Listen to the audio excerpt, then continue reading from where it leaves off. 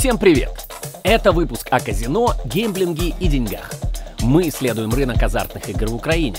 Сегодня познакомимся с собственником игорного бизнеса. Узнаем, сколько казино откроется в Украине и сколько стоит открыть зал игровых автоматов. Помните Руслана? Сейчас у меня запланирована встреча с Русланом Нонкой. Руслан занимается открытием слот-залов в Украине. Руслан, привет. Привет. А, спасибо тебе огромное за время. А, давай прогуляемся. У меня много вопросов к тебе. Вот. Очень надеюсь на откровенную беседу. Давай. Ты как, да? Руслан, ну первый вопрос. А, расскажи о себе, чем ты занимаешься а, и как вообще в принципе в игорный бизнес попал. А, Смотри, я сам из IT, а, я IT-предприниматель, в принципе, уже лет 10 занимаюсь этим. А, Кроме этого, я консультант по стратегическому маркетингу в нише гэмблинга и беттинга. Я работаю с многими ведущими брендами, вот, собственно, консультирую их по маркетингу.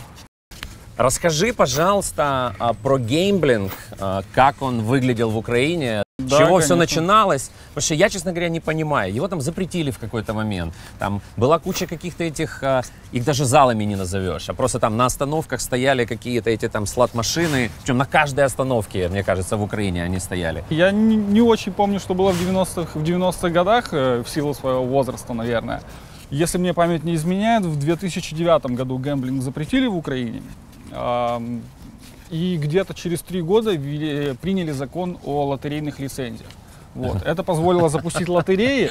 И э, я, Вот оно, да, я было, не, не особо э, в курсе юридических проволочек, но нашли какую-то э, зацепку и под этими лотерейными лицензиями, собственно, запустили огромное количество игровых залов, которые до декабря месяца еще э, прошлого года мы, в принципе, все здесь наблюдали. Я думаю, что только в одном Киеве было около, наверное, тысячи залов. Этого уже должно больше не быть, потому что новый закон предусматривает э, игровые залы только в отелях сейчас. А, Поэтому их станет на порядок меньше, чем было. И это, в принципе, станет совершенно другой бизнес, уже регулируемый и бизнес, который будет, э, собственно, платить налоги. Так, а а, вот эти вот все, назовем их лотерейные игровые залы, лотерейные Да. игровые залы, то есть они налоги не платили, что ли? И А- там, вот что изменится, мне просто интересно. То есть была некая форма легализации, ее отменили, сейчас ввели другую форму легализации, и э, теперь налоги пойдут, а до этого не шли? Смотри, э, я бы сказал э, так, э, произошел э, кардинальный слом. Э, сейчас мы наблюдаем запуск совершенно другого бизнеса. Для сравнения, э, в одном Киеве раньше было около тысячи залов. Э, В Украине, наверное, было тысяч пять-шесть залов. Сейчас, допустим, мы запускаем сетку залов, и мы позиционируем себя как большая сеть. Мы запускаем всего лишь 8 залов. Восемь залов. н- Во всей Украине. Ого. Во всей Украине 8 залов. Средний зал 500 квадратных метров. А, стоимость запуска игрового зала а, до легализации была, ну, по моим прикидкам, где-то 40-50 тысяч долларов. А ко- Сколько? 40-50 тысяч долларов. То есть я мог открыть игровой зал за 50 тысяч долларов? Более того, окупить его, я думаю, за полгода. Сейчас э, средний зал у нас стоит около 3 миллионов долларов. Окупаемость его 4 года. То есть это совершенно другой бизнес. Почему все так выросло? Потому что появилась лицензия, которая стоит около миллиона долларов. А игровой авто, игровые автоматы это не тот э, самопальный трэш, который собирали непонятно где. Это игровые автоматы от мировых производителей. И один автомат стоит порядка 15 тысяч долларов. Более того, он никем не контролировался, не было никаких систем мониторинга, что там внутри автомата происходило непонятно. Сейчас такие автоматы будут контролироваться государством, это раз. Два, за, за этот автомат несет репутационные риски его производитель, а это мировые компании с оборотом в сотни миллионов долларов. Что нужно мне для того, чтобы получить лицензию в Украине, если я решил заняться этим бизнесом? А, смотри, прежде всего тебе нужны деньги. Как Так. я сказал, достаточно немало денег. Тебе нужен отель. Только в отелях от трех звезд э, разрешены игровые залы. Таких отелей достаточно немного. В Киеве, наверное, порядка 15 отелей подходит под это. Вот, поэтому это не будет массово, как это было в прошлом году, когда мы наблюдали игровые залы буквально на каждом шагу. А сколько же времени уйдет у вас на открытие игрового зала в какой-нибудь другой стране? Во-первых, открыть может кто угодно. А, Естественно, э, то есть это может быть либо компания, либо может быть человек, у которого есть паспорт, у которого есть документ о том, что он а, не был а, уличен ни в каких криминальных действиях. Здесь э, совсем не обязательно быть резидентом страны, кстати, то есть это может быть и э, иностранец. Лицензия, стоит она на самом деле недорого, то есть все зависит от города, как правило, в который вы подаетесь. И э, цена здесь, как правило, от от 350 евро до э, 1700 Сколько по времени э, у меня займет получение всех вот этих лицензий? Получение лицензии для того, чтобы построить эту точку, э, займет, как правило, до 8 недель. И, соответственно, игровая лицензия, она занимает, как правило, 2-3 недели. Итого два с половиной-три месяца. Да, получается так.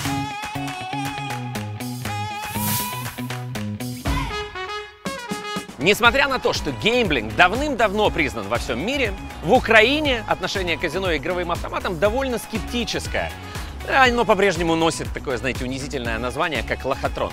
Поэтому я спрошу у украинцев, знают ли они что-то о новом законе, как к нему относятся и вообще, что думают об игорной индустрии. А скажите, пожалуйста, вы в казино играли когда-нибудь? Ні, никогда. Никогда.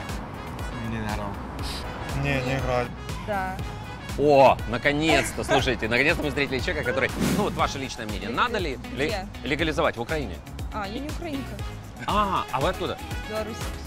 О, дайте пятерочку, дайте пятерочку. А, у вас же все. Так. А как относитесь к этому? Никак. Негативно. А, почему? Ну, Потому що це обдирало коштів. Отрицательно. А почему? Ну, потому что будут э, люди тратить туда свои деньги. Самое забавное, что никто никогда не играл в казино, но все против. А как считаете, надо легализовать или нет?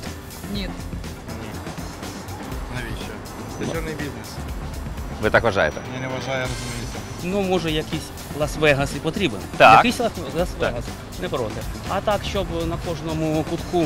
Ні. Мое мнение, я бы вообще бы запретила вот это дело все. Вообще закрыла. бы вот запрет. полностью. А, а почему? Ну, можете хоть один аргумент сказать против. Ну, потому что, ну, извините, это все от дьявола. А как к этому относитесь? Э, Ну, скажем так, если смотреть на то, что э, налоги будут идти в государство, то положительно. Если же мы будем говорить о зависимых людях, которые они будут играть в любом случае, независимо от того, на того, что казино это легальная движуха или нелегальная. Слушайте, скажешь, это подставной человек, реально. То есть она так складно все как бы высказала, я в шоке просто. А как считаете, надо легализовать или нет? Надо. Если это уберет, уберет уличное казино, которые ну, по всему Киеву разбросаны, если это их уберет, можно легализовать. Если стремиться к тому, чтобы прибыль с этого бизнеса получали не крыши, а государство, наверное, да. Одно, конечно, хотелось бы, чтобы их легализовать, чтобы все, как культурные люди, могли пойти и... это Ну и нормально как-то спустить немножко спустить денег. немножечко денег и спустить свои стрессы, адреналин там все. Ну. А с другой стороны, у нас не очень подготовлены к этому люди. До европейского пути развития нам идти, идти, идти идти.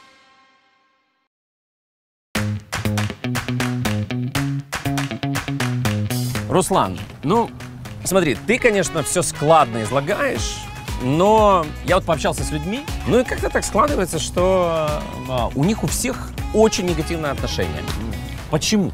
Я думаю, это напрямую связано с историей игрального бизнеса в Украине. Он просто был нерегулируемый. Каждый зал будет подключен к системе онлайн-мониторинга. Это означает, что, во-первых, при входе в зал будет проходить идентификация игроков. И игроки, которые зависимы, которые не подходят по возрасту, они просто не будут допускаться в зал. Так, простой вопрос.